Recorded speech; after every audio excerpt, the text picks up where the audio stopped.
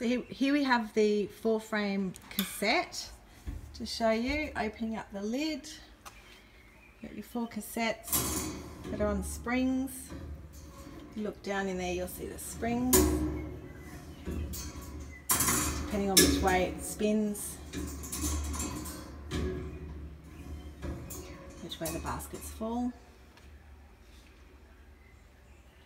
The honey gates at the base of the drum. Okay.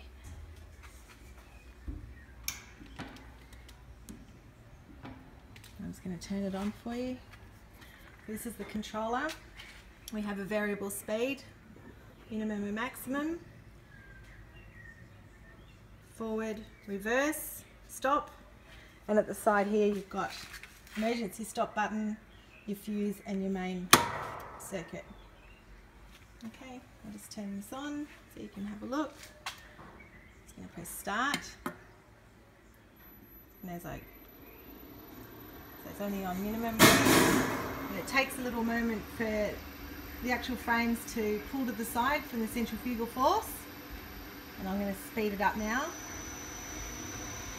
That's halfway. spinning really nicely. You see that halfway mark. Mitsubishi electric motor. Higher. You see it gaining momentum now.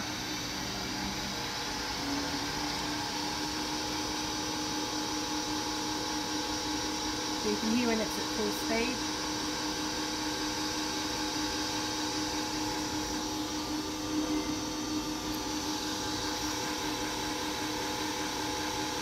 Should be about now. I'm going to pull it back a bit. Halfway now.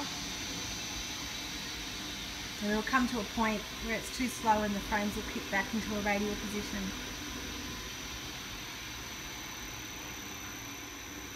Slow. It's about a quarter. It's a nice pace. It's still pulling the frames in a tangential format. slower, probably one point.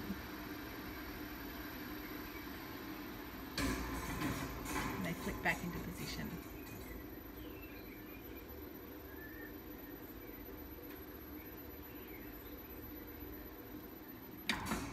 And that was stop.